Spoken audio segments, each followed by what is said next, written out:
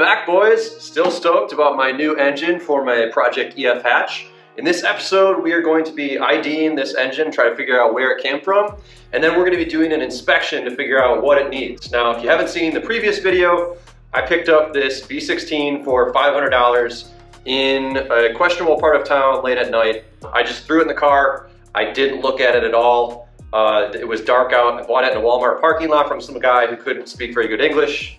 But now I have a B16 and a transmission and some other stuff. Couldn't say no to it. So at this point, we gotta see if I avoided rebuilding a D16 by rebuilding a B16 or if I can just stick it in and send it. First things first, let's figure out what this is. Now, I really have not looked this thing over in detail at all. I, I just got it on the engine stand today. Thank you, Zane. And uh, this is gonna allow us to inspect it, figure out what exactly I got here, what I'm gonna need to get it in the car, and if this thing needs to be rebuilt, which is entirely possible. There's a few things on here that make me um, really question the condition of this engine, but we will find out.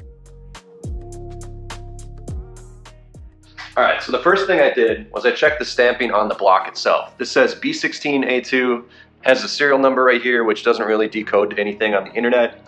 But the B16A2 was used in two cars here in the States. It was used in a 96 to 97 Honda Del Sol and the legendary 99 to 2000 Civic Si. I don't know which this is from yet.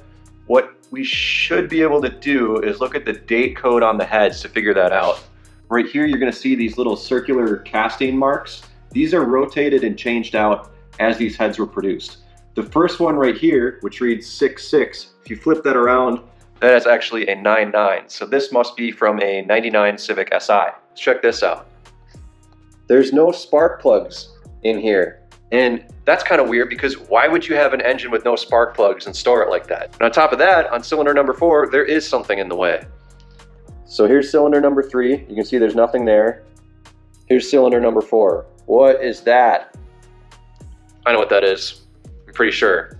I'm pretty sure that is a brass fitting for a compression tester. I don't know if that's what they were doing and the compression test was good, so they figured they'd pull it out of the car and sell it, or if someone was having problems and decided to pull it to put in a different engine, I don't know. So the first thing we gotta do is get that out of there. Then we're gonna drain the oil. We're gonna throw an endoscope down there to check the cylinder walls. And then we are going to do a leak down test to figure if this thing needs to come apart or if I can run it as is.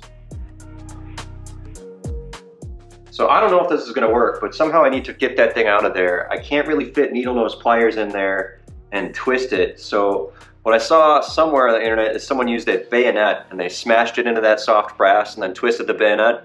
I don't have a bayonet. We're gonna try just doing the same thing with a number two Phillips. I, I don't know if this will work. We'll find out.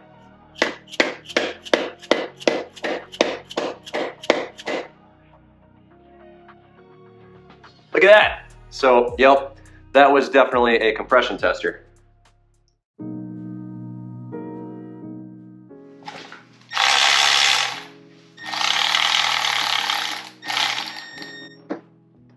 Oh, wow.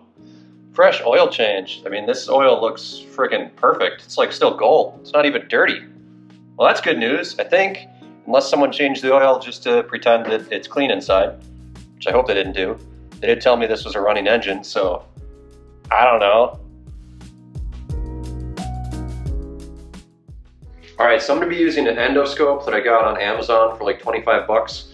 Um, these work pretty well. The only thing I don't like is the apps are from China and they want access to all your photos as well as your local network. And you need to do that in order for them to work, which, hmm. So we are going to shove them down in the cylinders and see what we see. Surprise. Oh. Surprise, surprise delivery. Beer delivery, thank you. Thanks, Sarah. I don't see any damage to the cylinder walls. There's definitely a bunch of carbon buildup on the on top of the pistons, which is fine. It's actually a little bit of these. I don't know. I don't see anything too scary. Let's go to the next one.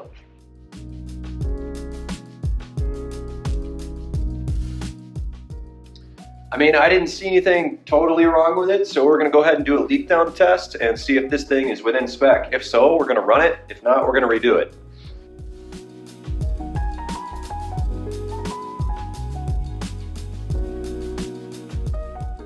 Now, I have used the Harbor Freight leak down tester. It's a piece of crap, do not buy that thing. I've got a video on it up here. Um, but basically, you want to buy a nice one. Amazon has these. They're OTC, decent one. Gauges are nice, works well. So I've threaded this into the spark plug hole. And what we're going to do is we're just going to hook it up to the compressor and see what percent we get on leak down. Now on a B16, you should have like 5 to 8%. Anything under 10% is acceptable. And the nice thing about doing a leak down compared to a compression test is it tells you if your rings are bad or if your valves are bad. So you can see 50 PSI here and pretty much 10 here. It's because the exhaust, it's coming out the exhaust right now. What I'm gonna do is just turn the crank and we're gonna see how high it goes. Actually, this is above 50 now. I'm gonna turn this down. Just the math is easy. So what I wanna see for a less than 10% leak down is I wanna see uh, above 45. And what I'm seeing instead, which is um, awesome, is 49, maybe 48.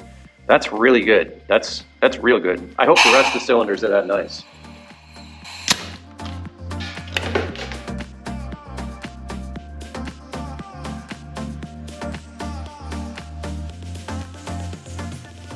All right, well, I got some bad news. Um, the first three cylinders were all within spec. They were like actually really good.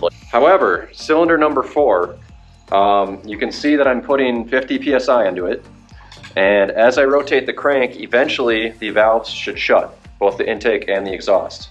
However, what is happening, here's air coming out the, the uh, exhaust. You can hear the pitch go up as the valves begin to close.